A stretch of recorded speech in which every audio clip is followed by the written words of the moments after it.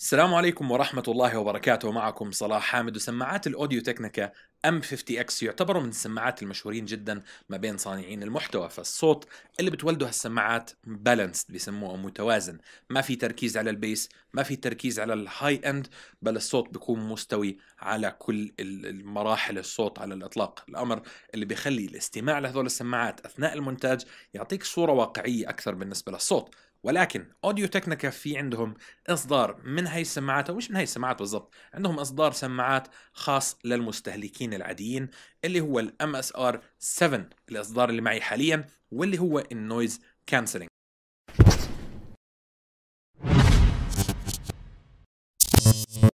أول شيء لازم تعرفوا عن هالسماعه من الاسم اللي هو ال NC أو ال noise cancellation هون في عندنا قدرة على إلغاء الضوضاء اللي بتكون موجودة حواليك ففي عندك زر بيكون موجود على السماعة. كل ما عليك إنك تضغطه بدون ما تشغل أي شيء ومباشرة السماعة راح تلغي تقريبا معظم الضوضاء اللي بتكون مستقرة أو static في ال background فبروح تقريبا كل أصوات العجقة اللي بتكون موجودة حواليك. فلو كنت في مطار لو كنت في طيارة كل الأصوات الخارجية المزعجة بالعادة واللي ما بتكون مريحة لك راح تختفي مباشرة. من الجدير بالذكر إنه هالسماعة هي wired وليست wireless في لها كيبل ولكن بإمكانك إنك تفصله. ومع السماعة نفسها بيجي معك كيبلين كلاهما متر وشوي طوله تقريبا واحد فيهم بيجي مع مايكروفون ومع قدرة التحكم بالموسيقى والثاني بيجي بدون مايكروفون للاستخدام بشكل عام مع amplifiers وشغلات أخرى. لما نتكلم عن السماعة نفسها ال band اللي موجودة من الأعلى شبيهة جدا باللي موجودة على ال M50X ولكنها أرفع شوي ولكن في عنا نفس الملمس الناعم جدا والشبه جلدي ولكن اللي ما بيأثر كثير لما تلبسها لساعات مطولة بحيث إنه ما واجهت معها مشكلة حرارة من ناحية العرق أو الأمور هاي. إن كان على سماعة أو على ال band اللي موجودة على الرأس أو على ال cushions اللي موجودة على ال drivers نفسهم فهم جدا جدا مريحين أثناء الاستخدام ووزن السماعة جدا خفيف الأمر اللي ما بيحسسك بالإزعاج أثناء الاستعمال لفترات طويلة.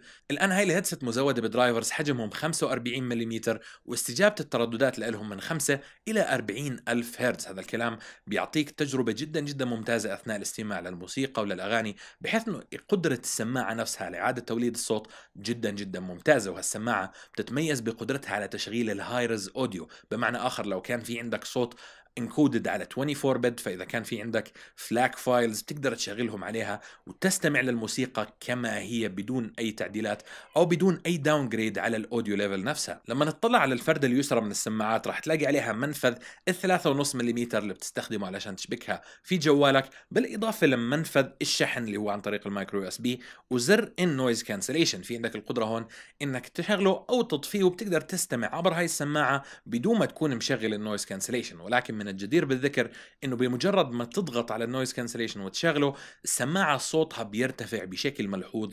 كثير صراحة بحيث إنه ال impedance تاعها اللي هو 150 ohms مقروء على ال noise cancellation وهو شغال وليس وهو مطفي لأنه لما يكون مطفي بتكون القوة أقل شوي فلما تشغله بيكون في دفع أعلى لل drivers اللي موجوده فيها وبالتالي الصوت اللي طالع بيكون أفضل. المواد المستعملة فيها السماعة بشكل عام هي خليط ما بين البلاستيك والمعدن ففتحة التوسعة الخاصة بالسماعة نفسها علشان تكبر حجمها مصنوعة من المعدن والسماعة نفسها مصنوعة من البلاستيك أو ال hard plastic علشان يكون وزنها خفيف بحيث انه نتكلم هون عن 300 جرام فقط واللي هو شيء مقبول جدا ومش عملاق بحيث إنه بتقدر تحطها وتلبسها وتستخدمها لساعات طويلة بدون أي مشاكل. بالنسبة لي هالسماعات هاي وجدت مكان في شغلي بحيث إنه لما أكون في الدوام وأكون في مكتب وحوالي 20 30 شخص قاعدين بيشتغلوا لما أشغل ال noise cancellation بدون ما أشغل أي موسيقى مباشرة كل الأمور بتهدي وما بصير في عندي هالضجة الكبيرة وبقدر إني أركز في شغلي. هاي السماعة ظلت في مكتبي حوالي أسبوعين تقريبا وهي محطوطة وبستمع لها بشكل مستمر.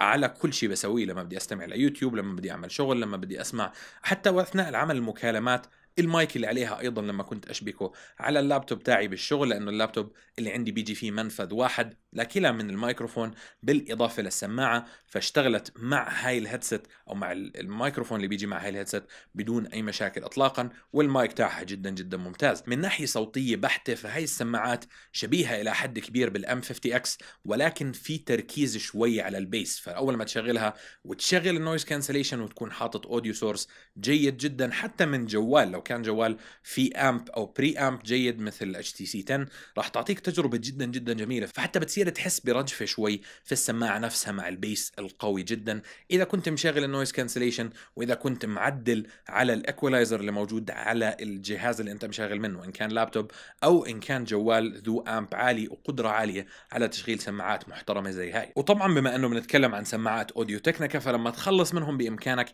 إنك تثني السماعات نفسهم علشان تقدر تحطهم على صدرك بدون ما تكون مشغل أو بدون ما تكون حاططهم في وضعية غريبة شوي بإمكانهم إنهم يكونوا flat هيك بشكل كامل والأمر اللي بيسهل شوي إنك تحطهم في الشنطة اللي بتيجي معهم. بإمكانك إنك تحط فيه cable ال USB وكيبل الصوت إذا بدك تخزنها في المكتب ولا بدك تخزنها في مكان ما وتنقلها من مكان لمكان. نفسي صراحة كان انه يجي معها hard case وتوقعت صدقا إنه يجي معها hard case اللي هي بتكون الشنطة الثقيلة شوي اللي ما بتسمح لأي شيء إنه يضرب فيها. ولكن بجت بدون ما بعرف شو بدي أقول لكم صراحة. الآن بالنسبة لسعر هاي السماعة ورابط شرائها راح يكونوا موجودين في صندوق الوصف من شبابنا في سماعة dot com. راح يوصلوها لأي مكان في العالم العربي إذا حاب إنك تشتري. الآن هل بنصح إنك تشتري هاي السماعة أو لا؟ الام اس ار 7 ان سي هي سماعة إلى درجة كبيرة شبيهة بال Audio Technica M50x. اللي موجه بشكل أكبر لمنشئين المحتوى ولاستخدام الاستوديو. هاي السماعة تصميمها لا يعكس هذا الكلام اطلاقا. شكلها كثير حديث شبيهة إلى درجة كبيرة بسماعات ال Bose سماعات ال Beats من ناحية ال finish ولكن بشكل أفضل برأيي من بعض هاي السماعات. ميزة ال noise cancellation فيها إضافة جدا ممتازة عن ال Audio Technica M50x بالإضافة لأنه هنا في emphasize على ال bass أكثر. هاي سماعات موسيقية أكثر من إنها تكون سماعة editing عملت عليها editing عادي بدون أي مشاكل واستعملتها لأقدر إني أعدل صوت وأمنتج صوت بدون أي مشكلة ولكن كنت طافي ال noise cancellation لأن لما أشغله شوي ال bass برفع بتحسه هيك وكأنه الصوت اللي بكون طالع منها بيختلف شوي على ال curve تاع ال sound بما إنها طبعا سماعات مغلقة مش راح يكون في أي حدا حواليك بيقدر يستمع لأنت إيش سامع فلو بتعلي الصوت على الآخر ومشغل ال noise cancellation حرفيا بتكون منعزل في عالم آخر. فسماعة جدا جدا ممتازة من ناحية الأداء. بالنسبة للسعر أمر بيرجع لك أنك تحكم في مجموعة سماعات صرنا عاملين لهم مراجعات للآن. إذا في سماعة معينة في بالك حاب أني أطلع عليها وأجربها اكتب لي إياها في قسم التعليقات بالأسفل. هذا كان كل شيء لهالفيديو كان معكم صلاح حامد. في أمان الله.